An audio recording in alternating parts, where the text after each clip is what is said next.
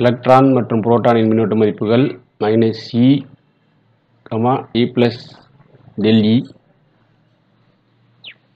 என வேறுபடுவதாக கொள்க. டி தொலைவில் வைக்கப்பட்டுள்ள இரு ஹைட்ரஜன் அணுக்களுக்கு இடையேயான நிகர நிகழ்வு விசை மற்றும் ஈர்ப்பு விசை. அது நிகர நிலை விசை வந்து என்னன்னா உங்களுக்கு நிகர நிலைமின் விசை மற்றும் ஈர்ப்பு விசை இருக்கு பார்த்தீங்களா அது வந்து சுவல் சுழின்னு சொல்கிறாங்க இரண்டோட கூடல் வந்து சுழின்னு சொல்கிறாங்க அப்படி இருக்கும் பொழுது டெல்லியின் மதிப்பு என்னன்னு கேட்குறாங்க இல்லைன்னா எலக்ட்ரான் மற்றும் புரோட்டான் எலக்ட்ரான் மதிப்புகள் வந்து சமமாக இருக்கும் இதில் வேறுபடுவதாக கொள்ளுன்னு கொடுத்துருக்காங்க. அப்போ எலக்ட்ரான் மின்னோட்ட மதிப்பு வந்து மைனஸ் இ e அப்படின்னு கொடுத்துருக்காங்க. புரோட்டான் வந்து e இ ப்ளஸ் டெல்லி. எப்பொழுதும் minus e e plus e தான் சொல்லுவோம். இல்லை டெல்லி அளவுக்கு அது கூடுதலாக புரோட்டான் பெற்றிருப்பதால் வேறுபடுவதாகிறது இருக்கு.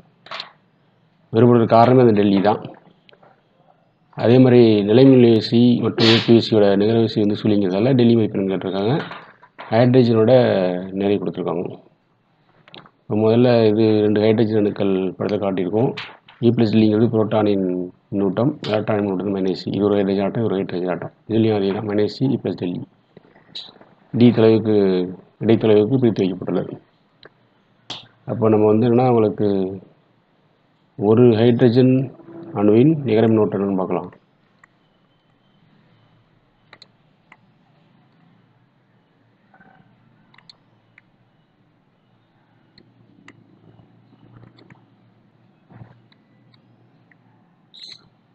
என்னவா இருக்கும்?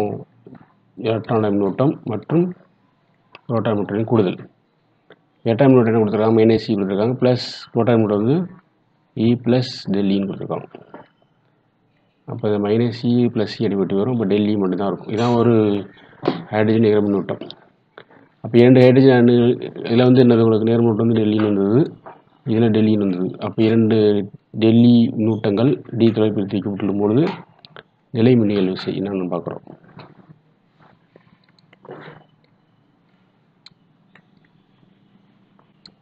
நிலை மின்னியல் விசை எஃப்னு வச்சுக்கோம் எஃப் கொண்டு என்னது?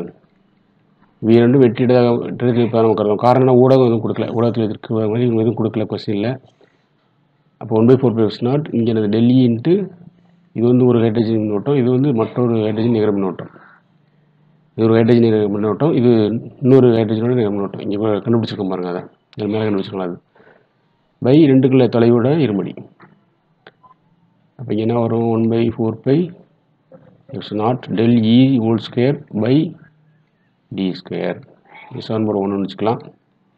அடுத்து வந்து இரண்டு ஹைட்ரஜன் அணுக்களுடையான ஈர்ப்பியல் விசை.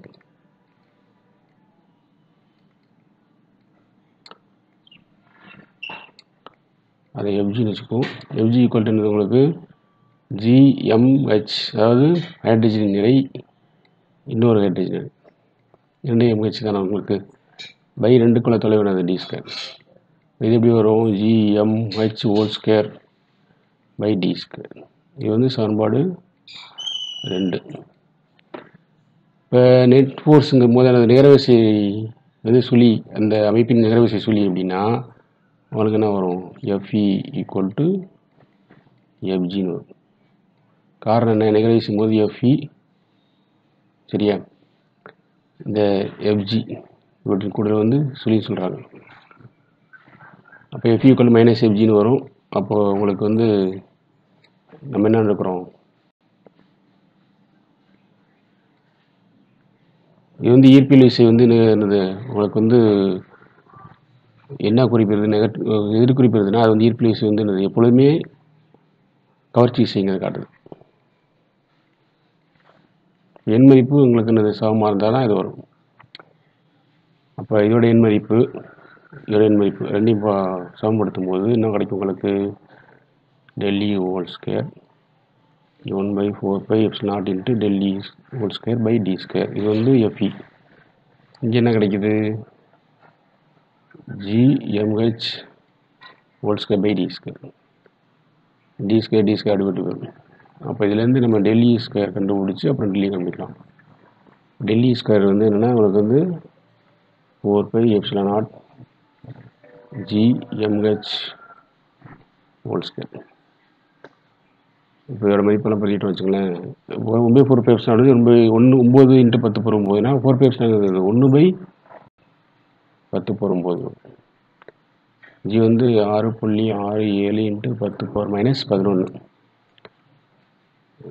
அந்த எம்ஹெச்சுங்கிறது ஹைட்ரஜன் கொடுத்துருக்காங்க இருக்கணும் அப்போ ஒன்று புள்ளி ஆறு ஏழு இன்ட்டு பத்து பவர் இருபத்தி ஏழு கொடுத்துருக்காங்க. இப்போ ஸ்கொயருங்கால ஸ்கொயர் போடுறோம் இது மதிப்பு வந்து என்னென்னா உங்களுக்கு சால்வ் பண்ணி பார்த்தோன்னா பத்து பவர் மைனஸ் எழுபத்தி நாலு வரும். எழுபத்தி நாலு கூலும் ஸ்கொயர் வரும்.